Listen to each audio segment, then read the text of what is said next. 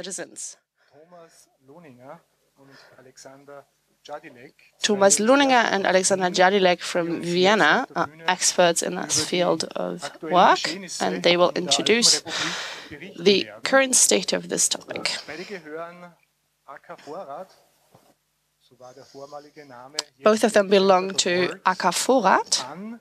Das ist ein Verein, which is now got a new name, which we'll put in later, and it's Grund- und Freiheitsrecht. Um, basically focusing on privacy laws of citizens of the country. hat diverse Vorträge zu diesem Thema? Thomas has already done in Deutschland und in Belgien many, many uh, presentations on this topic uh, in Belgium, also in the parliaments. Alexander ist Alexander bei epicenter.works dabei is part of epicenter.org und sich seit circa as a mit Datenschutz. law stu- lawyer, Die Bühne gehört euch. and the stage is yours. And welcome everyone to the translation. Uh, this translation is done by Nini. and Starfish, and we welcome you. Hört ihr mich? Ja. Also, zuerst noch All right, zum Hausmeisterteam. A little bit of janitor topics. äh, bei den Ackervorrat, der Arbeitskreis Vorratsdaten, der ja The working group on um, die anlasslose Massenüberwachung, die Vorratsdatenspeicherung in Österreich und auch in Wien abzuschaffen. Um, the, the, 2014 haben wir dieses shit. hochgesteckte Ziel erstaunlicherweise erreicht. Und dann haben wir uns so die Frage gestellt, In 2017, we reached our highly set goals. Um, so we were thinking, what do we do now? Um, are we going to work on, or are we just going to stop now? But there was this Mr. Snowden, and this made us um, realize that we have to move on. We are working on many other topics in data retention now, including the state surveillance um, law, as well as net neutrality and other uh, issues. And so uh, we started, we, we, we changed our name um, because we thought that um, data retention is not enough to uh, tell what we're actually aiming for. The new work, Epicentrum Works, um, wants to show that it's like shock waves um, through all of society, um, the, the topics that affect us in this field. Um, we're gonna work for um, basic and human rights in Austria, and we have a lot of stickers um, with the slogan um, "Civil Society Works," because we think it's um, a recipe for success. That if we work with um, support from the, the, the citizenship, um, citizenry. Um, for example, when we work against the um, the secret service, um, but also with like uh, telecom organizations. Um, This talk is not only about epicenter, but also about net politics in Austria in generally. Um, for example, there there have been many things going on there. Um, we now have um, an organ- a regular event called Netzpolitischer Abend, Net Political Evening, um, which is happening once a month in Vienna. Uh, we learned in Berlin how this works at the Netzpolitische Bier, and um, there the- the found a group of people found itself um, to replicate the same thing in Vienna, and we have always had a full house, um, really every single time, um, for very uh, different kinds of talks. Um, for äh, example, what um, ähm, wie es mit dem Leistungsschutzrecht the uh, unions are doing when it comes to um, consumer protection rights, but also more court things. Um, we are like without any structure. We're just a discussion room. There is no statutes or organization behind. Um, just join if you ever happen to be there in Vienna for the right time. Um, at the same time, last year there was also the founding of the Chaos Computer Club Wien. Um, yet another try of founding a Chaos Computer Club in, in Vienna. There was a Chaos Nahe Gruppe in Vienna. Um, there, there have been a break, um, but now there's a new group like this.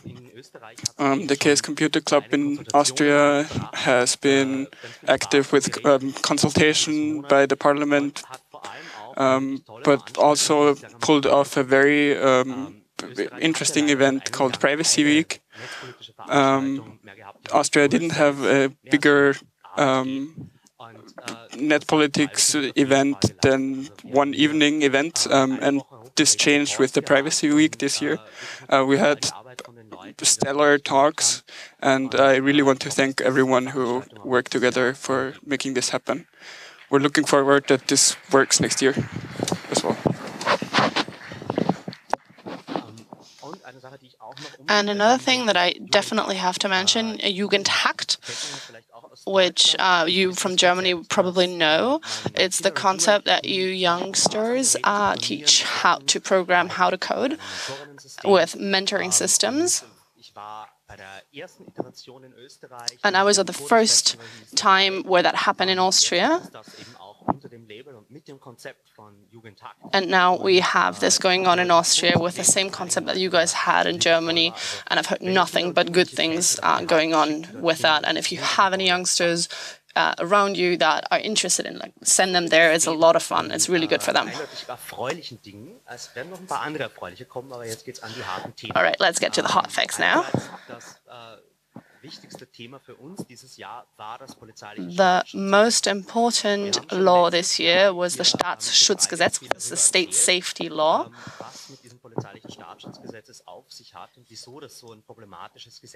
We've been talking about the problematic aspect of this law in Austria for quite some time now. And because of a lot of privacy issues, this is something that we really need to pay attention to and not approve of. Over 30,000 people signed our petition to watch this law and not make it pass the way it's been constructed at the moment. We've done a lot of creative things to uh, work on this topic, and I'm very thankful for everyone involved in working on this. The bigger picture is something very simple. Uh, at this, uh, what we see here is the Parliament building, and what we did was uh, we took balloons and put a security camera watching, uh, rising high into the like into the sky, and with this very small but very creative concept, we really made it big in the news because this is a very something that works visually very well.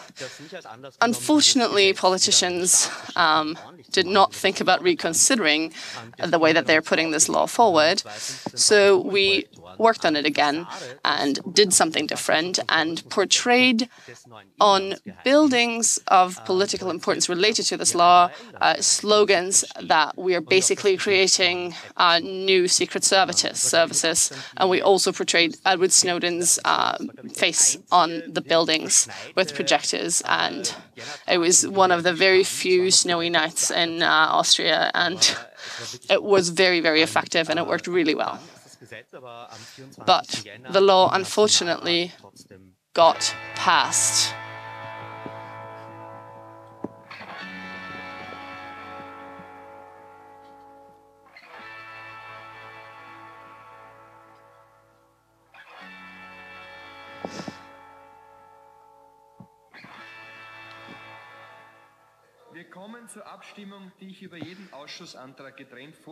What we're now seeing is the Parliament uh, making the decision about the law that uh, they've been trying to prevent from passing in the way that it was formed because it highly interferes with personal privacy of Austrian citizens. I'm Amon Angerer, Antoni, Aslan, Aubauer, Auer, Bacher, Bayer, Becher, Belakowitsch, Jenewein, Belakowitsch, Bösch, Brosz, Brückl, Brunner.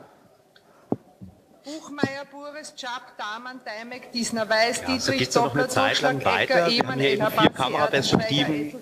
Wie damals bei der Vorratsdatenspeicherung wollten wir... We basically are watching with four perspectives into the parliament and they're trying to be part within the decision making process and want to try to show who is making what list, who's making what decision.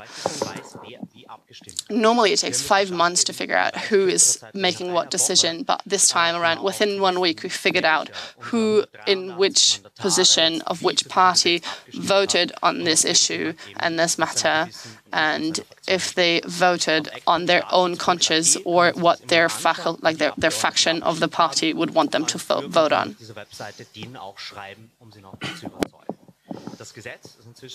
Ähm, the law is uh, publicized by now, and it will be instated publicly uh, by July next, the past year. Oh, sorry, July 2016. For the second time in history, we filed a um, constitutional complaint. And in order to do so, we need one third of the parliament to support our claim. And we got basically what we happen. What happened was we got two parties to get involved in this. So we got to do to file the constitutional complaint, and which is going to be dealt with in 2017. And uh, we hope that this will go our way.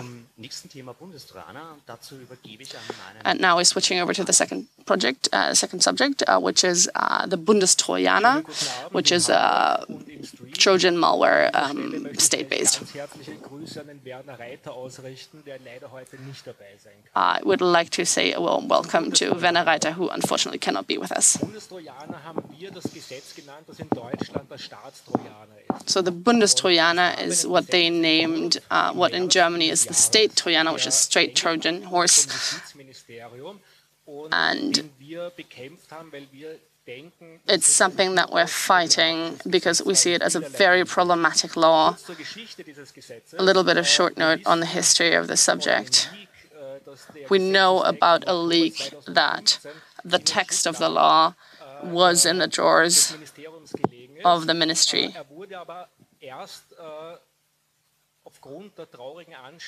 But it was only brought forward in 2016 after the attacks in Brussels.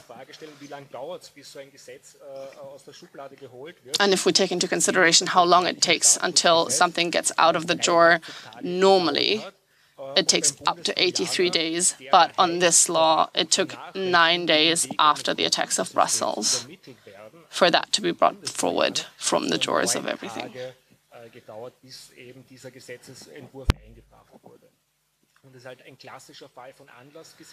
It's a classical case of laws are being forward based on action that is taking place in other places where they're taking emotional um, basically emotional reasoning to bring something forward and make something pass that normally maybe wouldn't pass.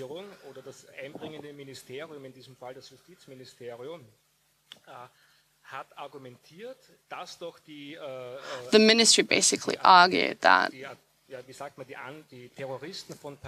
the terrorists of Paris, through the network of PlayStation 4, communicated through that network. And this story was something that was basically fake news that was revealed in 2015 and in 2016 explained in the ministry as the reasoning for why this law is necessary. So basically, they're stating a case based on fake news.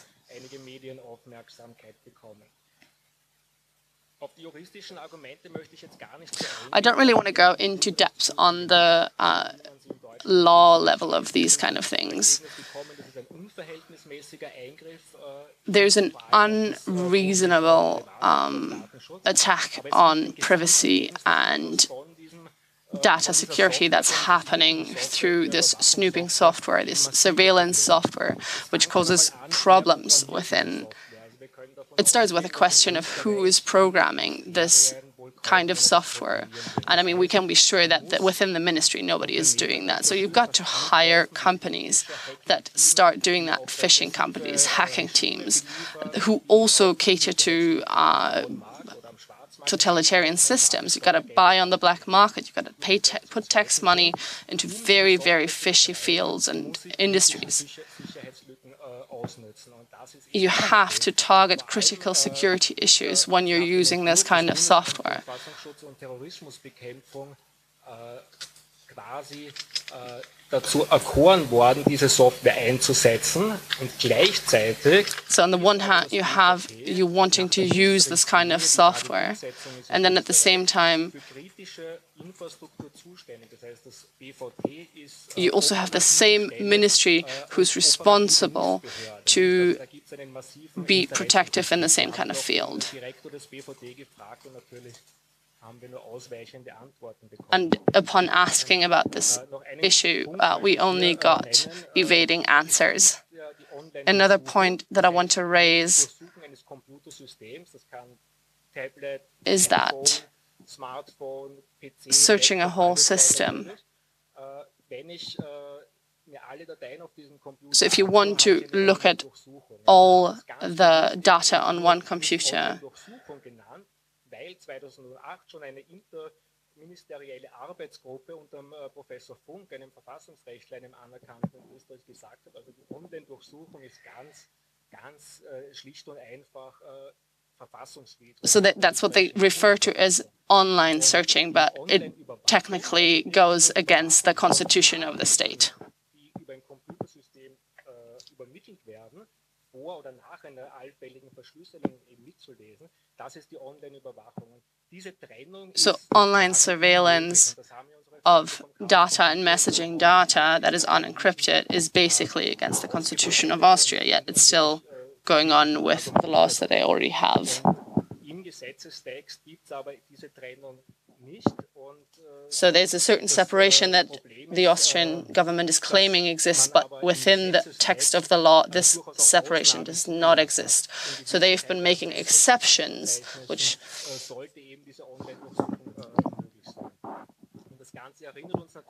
so, and all of this obviously remembers us of the thought police of George Orwell's 1984 computer systems, smartphones, our devices are super personal, highly personalized devices that know more than our actual partners that we share our lives with.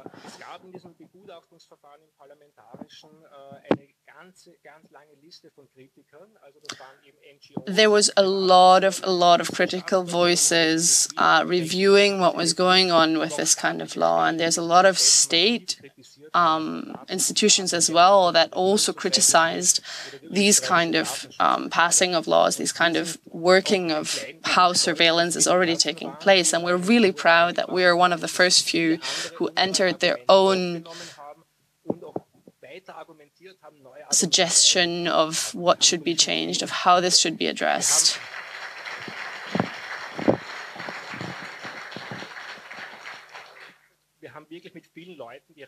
We've talked to a lot of people, and a lot of people have very, very critical thinking about this. There's a lot of private citizens also involved. This is the list. There's 56 official statements that were brought forward, and now I want to show a short video.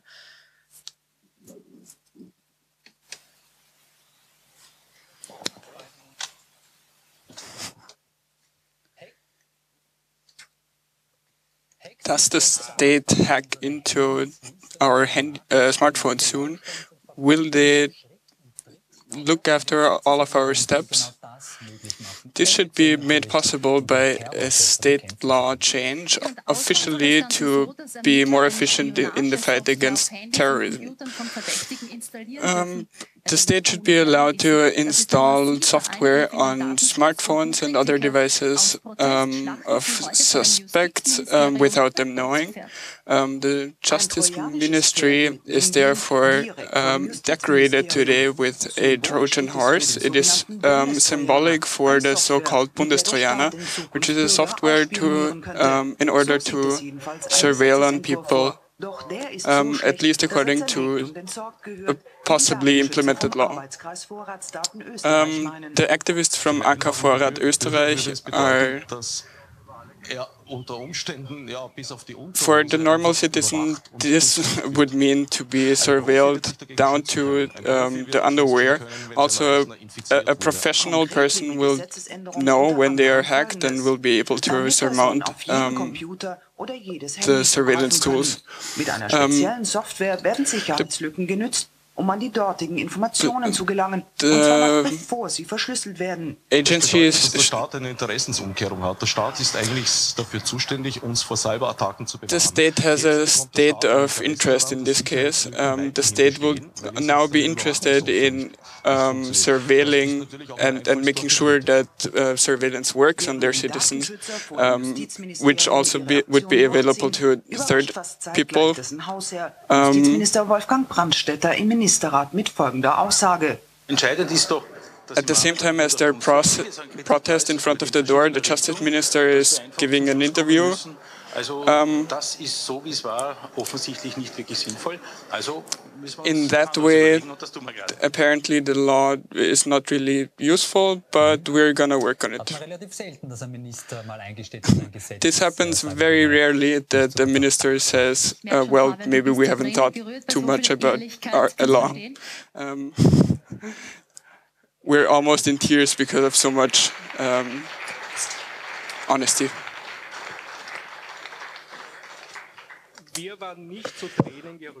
we didn't come to tears. Um, for us, it was immediately recognizable that um, even though the justice minister was very insightful, um, and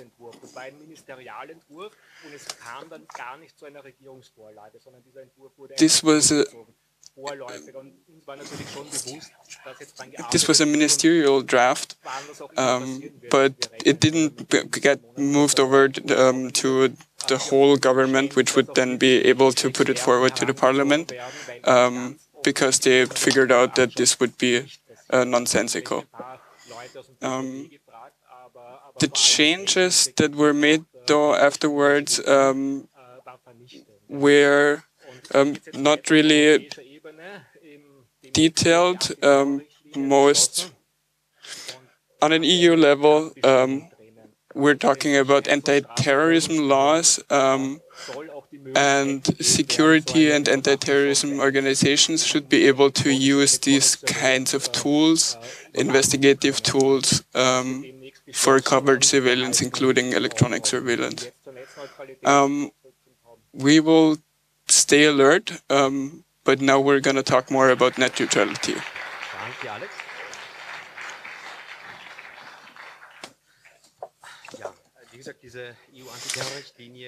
As said, this EU anti-terrorism um, directive is a directive, so it doesn't immediately get put into national law, but national parliaments have to um, form their own laws um, after this directive. Um, this means we can fight. Um, only in two cases we were able to stop the law um, with good arguments and a little bit of pressure from the street. Um, in this case, this worked um, with the long list of, of very many people that raised their arguments. And in this case, the politics listens to it. Um, it shows that democracy works, but also that um, an actor is necessary that points out these issues. We only are able to sh show um, the tip of the iceberg, but all of the administrative tasks and and um, also the legal work um, is very necessary. If we move on to a European topic, uh, net neutrality, we had um, a great success in August after three years of campaigning. Um, the new rules for net neutrality for the internet in Europe are fixed. Um, in my other talk today with Chris from La Quadrature uh, we have explained what inside this law. Um, here I'm going to show you only very quickly, um, because we in Austria were very uh, a key actor um, to make this law change possible. Um, Save the Internet EU was developed mainly in Austria, um, and um, we had, for example, this demonstration with many, many groups um, that have not only in Vienna, but also in Riga, where the European um, Regulation Authority BEREC has its seat. Um, we came over and um, brought the first box of 100,000 comments. Um, there were total almost half a million contributions um, in six different EU languages. Um, in most of these um, consultation processes, there were only a couple of hundred mainly um, uh, contributions, but this time this was very different. Um, um, die offizielle Zahl war ja früher immer 510.000. Das lag daran, dass einfach am Ende so viele E-Mails geschickt wurden, dass nicht mehr alle von dem E-Mail-Server, der ein Windows-Server war, Uh, we, due to some technical issues, not all of the emails were, they were able to receive all of the emails.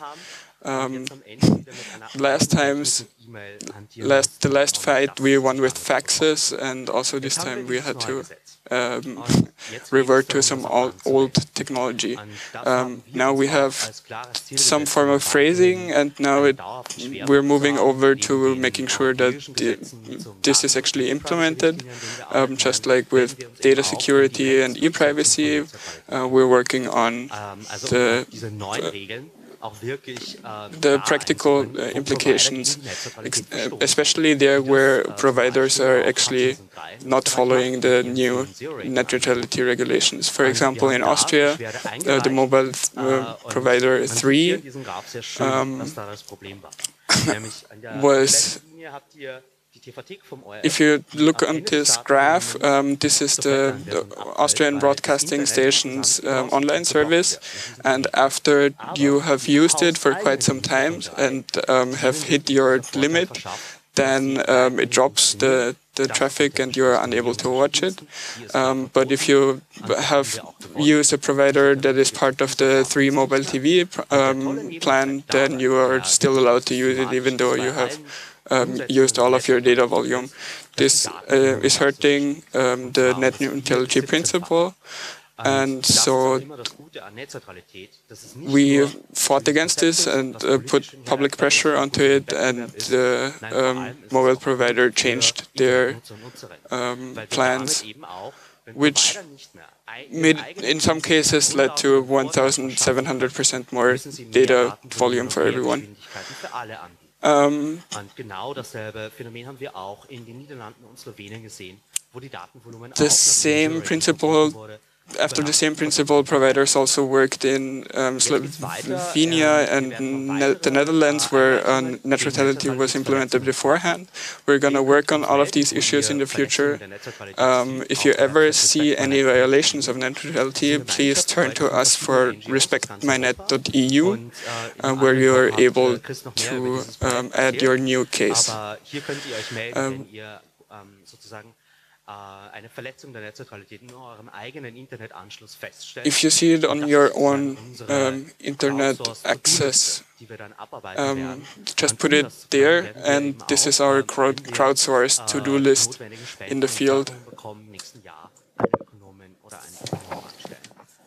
also, if this is going well, we're looking for an economics person for our team uh, because this is a part where you also have to make an argument from an economics standpoint of view. So, moving on to the next topic, transparency law, which is something that seems to be a burning topic, a continuously burning topic in Austria. Which Austria is one of the few countries that still has uh,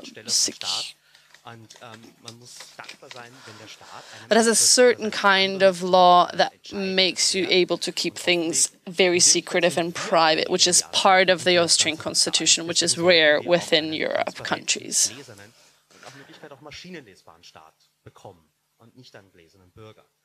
And what we're trying to work on is creating a transparent state, however, not a transparent citizen. We want to have a see through democracy, but not uh, see through citizens within this democracy.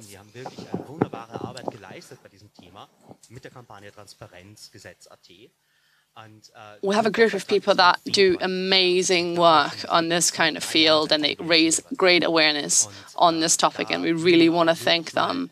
Uh, you can see uh, one of the authors who's working on this issue portrayed on the slides right now. there is a draft that at this moment is being put forward, but it's not publicly accessible.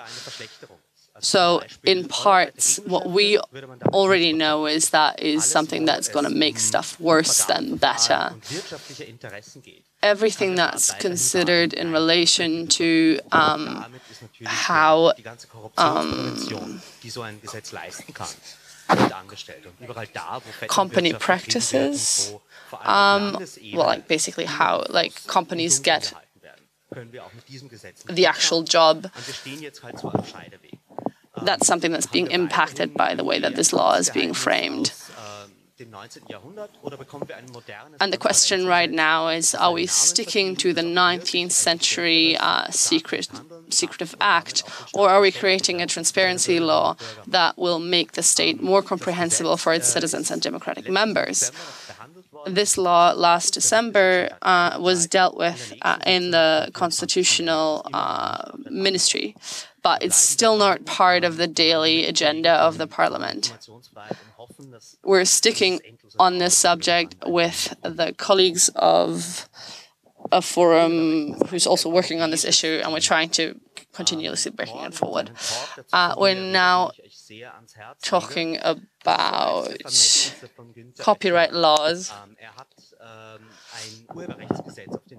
Günther Oettinger brought forward a copyright law that is disastrous.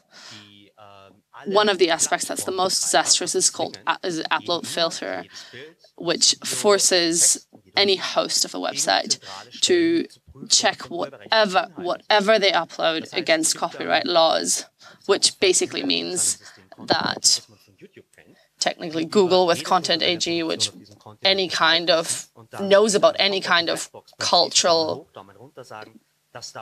stuff happening around the world and, and publicizing that they can't really do that anymore because that's basically infringing copyright law in the understanding of how the EU is trying to put this forward with what Günther Oettinger is trying to do. Thomas Drozda, the Minister for um, Media, is at least partially in favor of that. Um, but um, the most important part for him is how um, um, press support and media support um, will be handled in the future.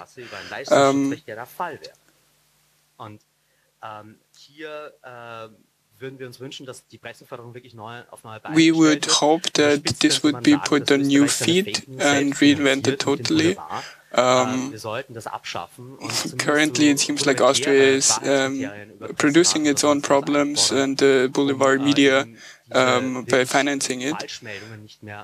But, um, for example, fake news, it would be a good idea to um, bind funding in the future to um, reducing fake news. Die Einladungs-E-Mail vom Justizministerium mal analysiert. The invite email to um, the justice uh, to the media ministry is um, consultation um, includes many many people. Um, there's many many laws um, that are being implemented at the same time, um, and the, the, most people don't have the energy to work on all, on all of them. Um, so it's very important to um, get uh, knowledge about um, all of these things and, and, like see what you're actually interested in. in yellow, you see on the invite other ministries um, and state bodies. On the the, the green pe people on the list are um, the, the, copyright industry, and in blue that's um, civil society and everyone else. Um, starting at so in green we have the people who are the actual rights holders, and in blue we have the industry itself im Urheberrecht ist es eher sehr schmerzbefreit. Ähm, dieses Gesetz, äh, the law, muss das auch wirklich sagen, Das Urheberrechtsgesetz, was uns Oettinger hier the law that Oettinger has inherited us before he was um, moved over as, as commissioner for the budget of the EU. Um, when, whenever Günther Oettinger does something stupid, he will get a like get promoted. Um, and this is one of the most problematic um, laws in the net politics field, um, including the upload filters for all platforms, um, from Wikipedia to um, Moodle e-learning platforms. Um, we are we we need to put this away. Um, this may not exist in Europe um, because you need the censoring infrastructure of China to actually put this in place, and then it can be used for other things as well. Um, we also um, work for a unified fair use.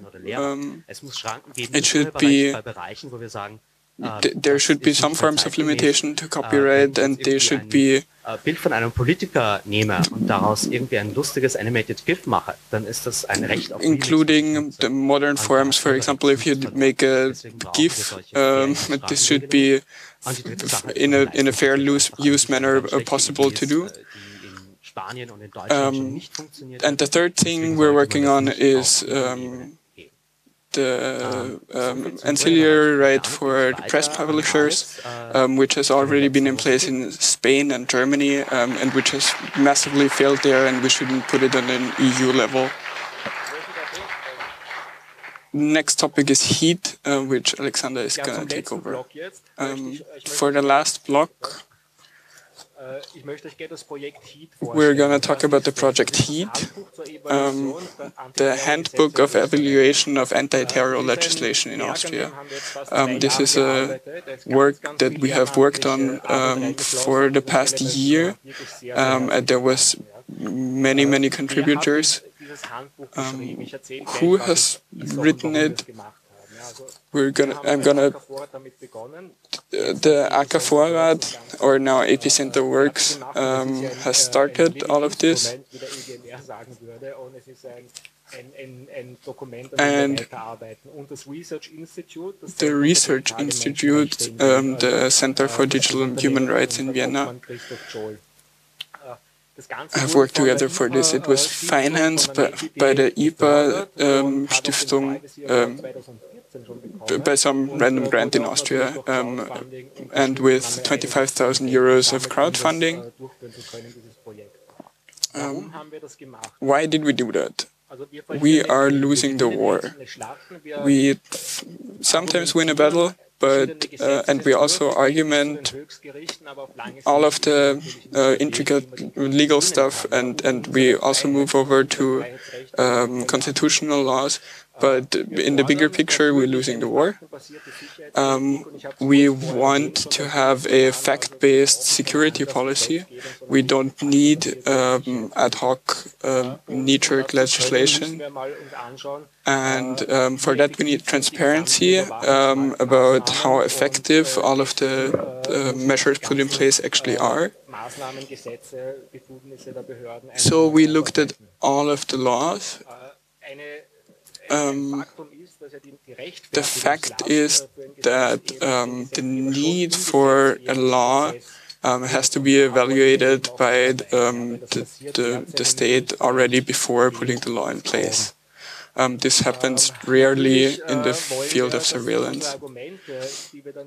Um, we wanted our arguments that we put forward to the courts are already heard during um, the legislative project process.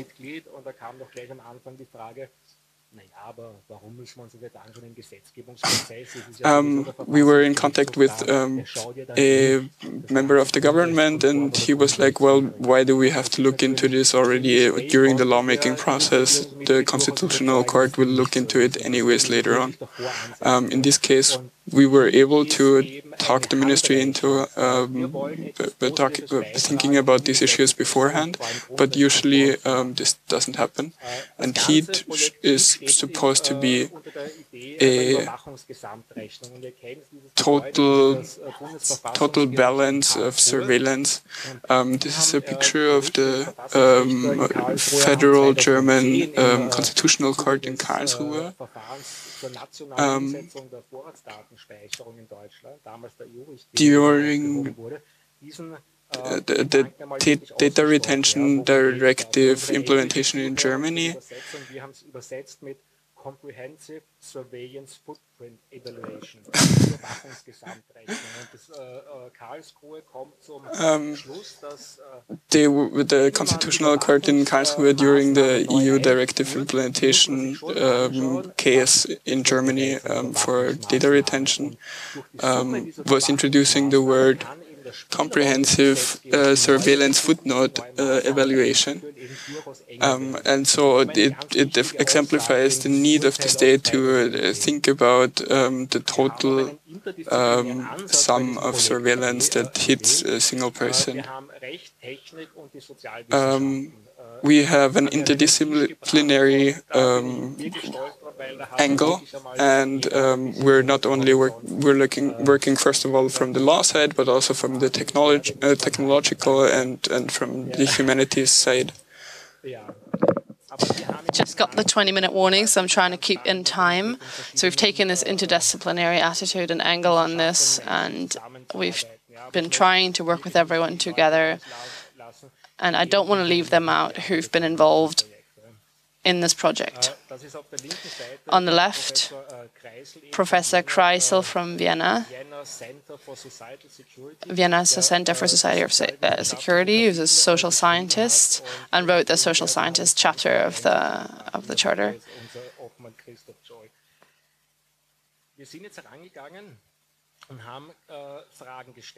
So basically, the way that we address this, we started asking questions, started asking questions to the governments. In Austria, it's possible to bring forward questions towards the parliament,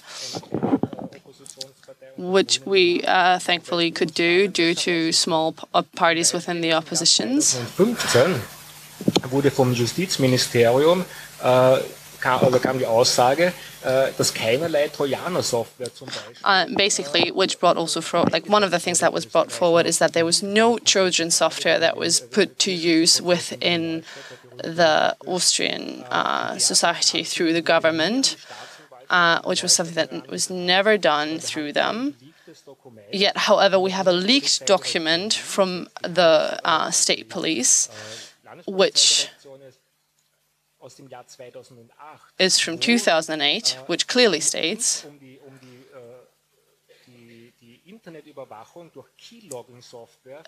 the internet surveillance through keylogging software, which was asked for, uh, which was brought forward to um, the state officials and the courts.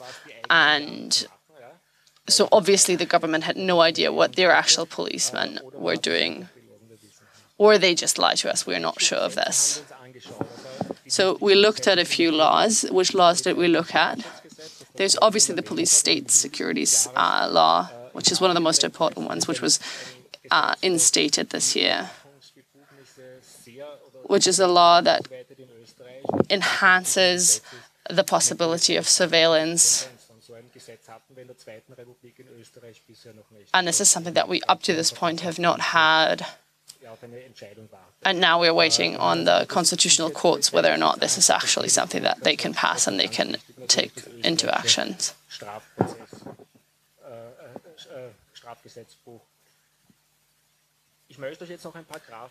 I would like to show you some graphics. This is one that we created.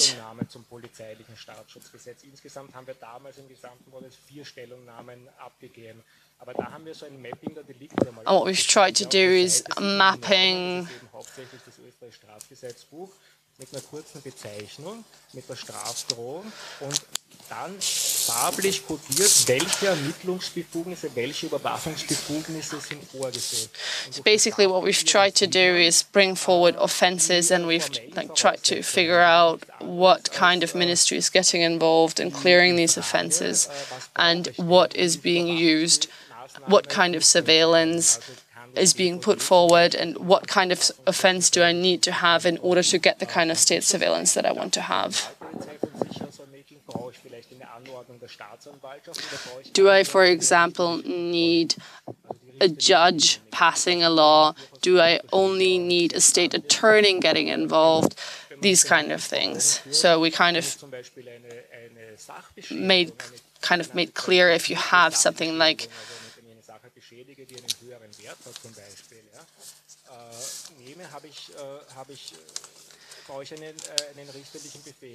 so damage of property, property damage, like what am I going to do with it? How do I get um, an actual surveillance um, warrant issued? If this is a terroristic act, all of a sudden this doesn't really matter anymore. It's not just a damage of property, it's obviously a terroristic act, which creates a completely different kind of uh, justice scenario, which means that I don't even need a judge anymore to pass that kind of surveillance warrant.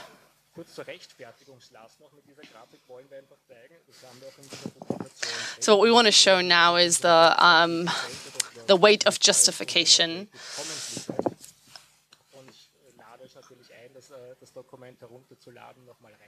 You're all invited to download this document, take a closer look at it. It's it is about the weight of justification.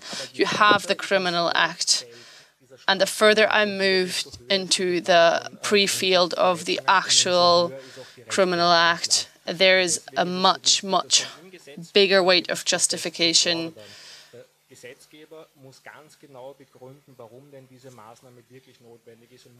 The lawgiver not, needs to give facts and give reasons of why these kind of laws need to already apply this kind like in this kind of early stages um, and the weight back like in those early stages is much much higher.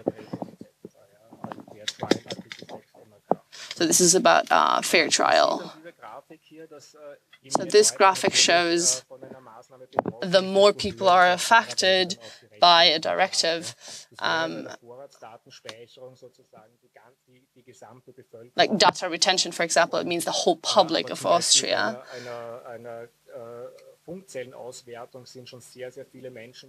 But already within uh, Funkzellen um, Auswertung, where you basically extract the data of all the people whose phone numbers are within this kind of radar point,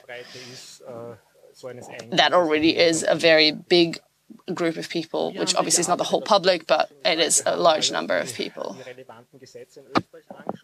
So what we did was we looked at the relevant uh, judiciary issues. And we also looked at how it was dealt with within Germany and within the European courts, because obviously those affect us, and these are good exemplary cases. And we look at what kind of um, what kind of measures are available to uh, security officials and which are the ones that they actually use, like what kind of technologies.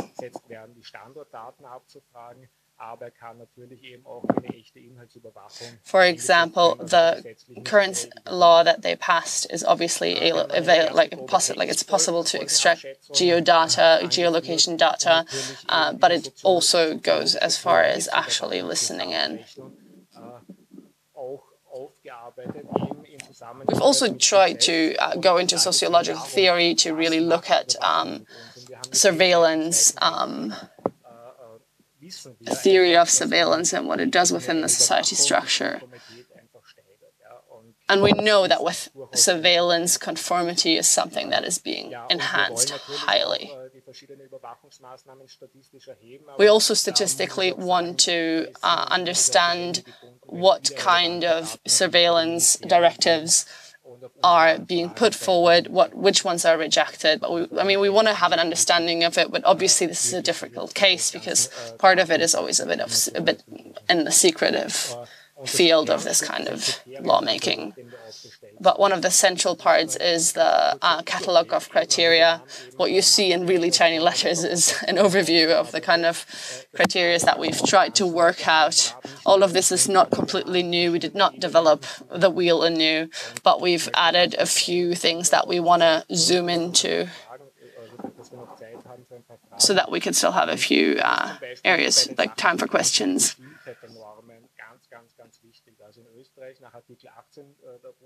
In Austria, based on Article 18, we have uh, the principle of legalizing. Norms need to be comprehensible. Norms cannot be against the constitution.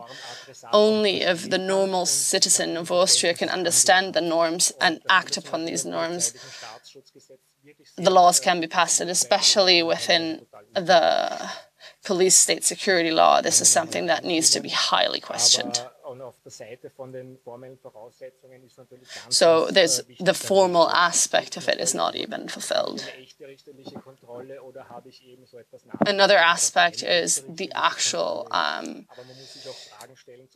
control of a judge. Is that something that that is given or not. So that's part of the legal protection when it comes to the kind of laws.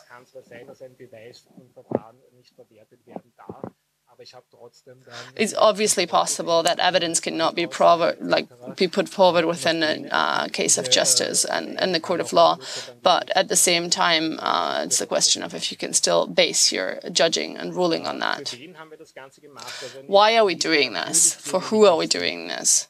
And I mean, obviously, for the people who work within the ministries, but at the same time, it's also uh, for all the politicians, it's for all the civil civilians, it's for everyone who works within state security as well. And this uh, overview uh, will show you how it uh, affects our fundamental laws in Austria. This is a graph of how the Constitutional Court in Austria handles um, basic right um, infringements and if they are um, allowed or not. Um, we the next steps are making a printing version. We are very glad that um, Professor Joe Cannataci from uh, the United Nations he is um, the special envoy on uh, the private sphere um, has written um, the, the preamble to our text. Um, we will want more transparency and uh, we will act to make newer versions of this document as we move forward. Um, we would also like to do the same thing on an EU level um, and hope that our book is used um, both for um, jurisdictional analysis, but also um, in um, constitution uh, in, in court cases.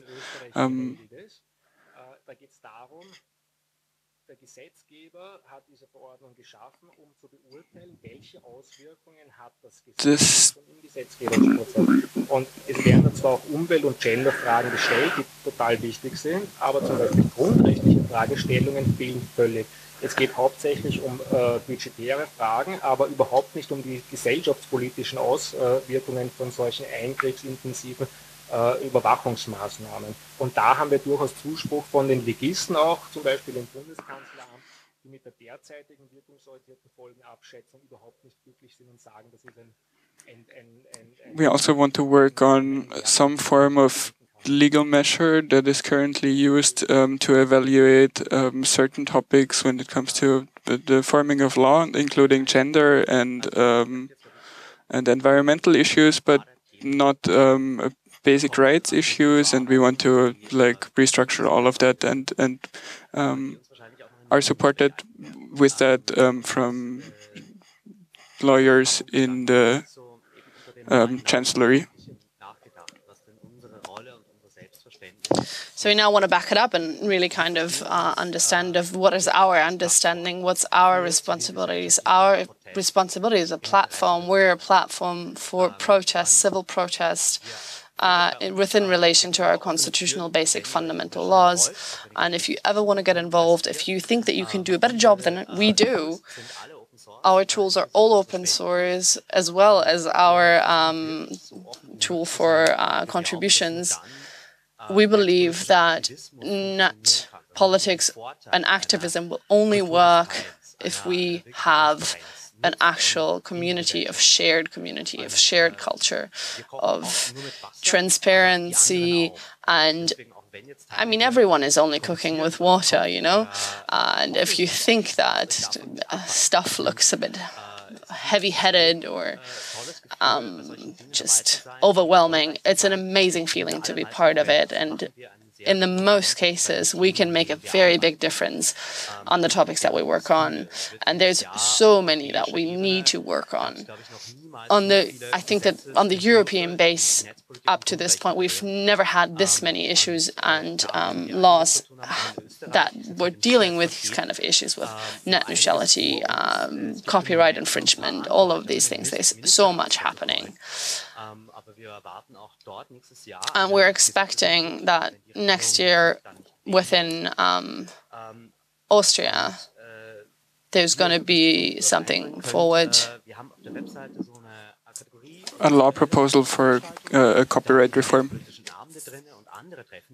So, if you want to participate, you want to take part, there's a, a whatever you can do, you're a programmer, you're a graphic designer, you want to put your your talent forward. There's so much that we need, and we have a small office, but without the volunteers, there's literally very little that we could do. Nothing would be possible.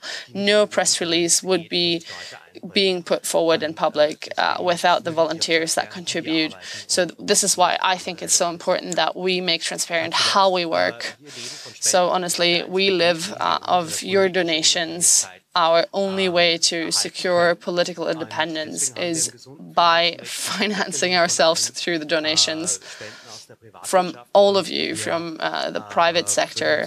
And uh, we would be excited if you would donate, obviously, and be a member of us. Uh, thank you very much for your attention.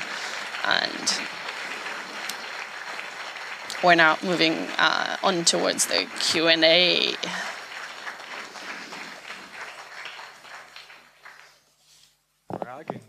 Questions, please.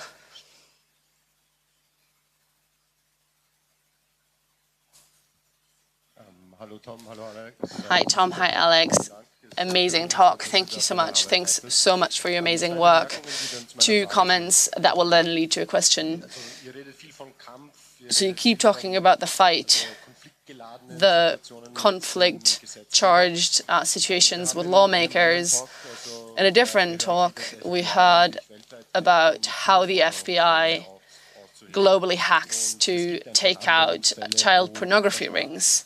And I mean, there is the cases where the state needs to have these kind of methods and methodology. How can we have a consultative process where you can, on one hand, where you can have a collaborative process that where the lawmaker can make pass laws with you guys in kind of balanced ways with you guys. And the way that it works in England with the kind of white papers uh, where they can bring forward uh, draft for a law that actually takes all the different perspectives into account?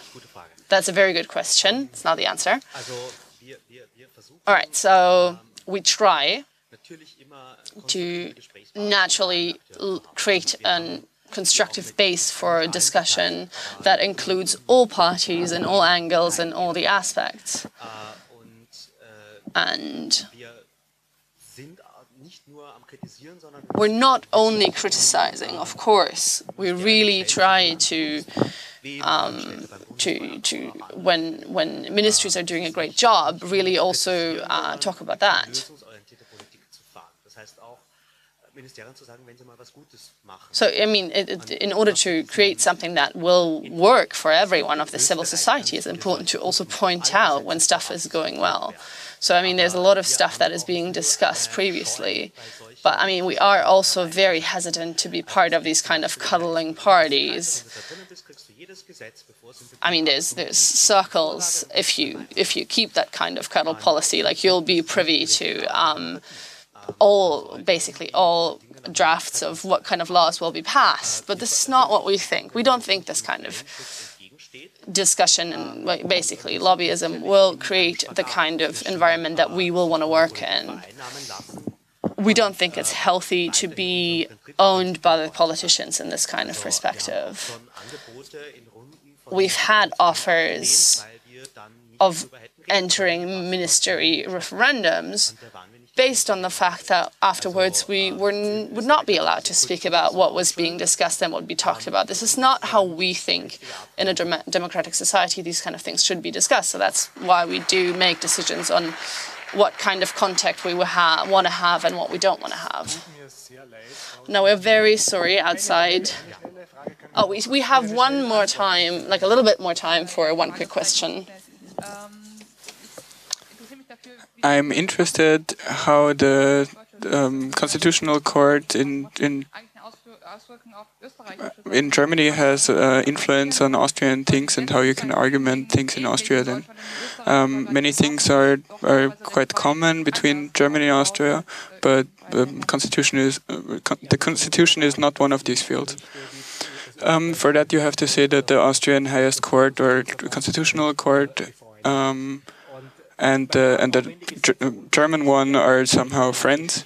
Um, they have um, some form of closeness um, in in like constitutional history, and oftentimes we look to Germany and see um, how it goes in Germany. I I trust in Karlsruhe, the German Constitutional Court. Um, it is some form of um, guardian of basic rights. Um, also in Luxembourg, the, the uh, European Court of Justice.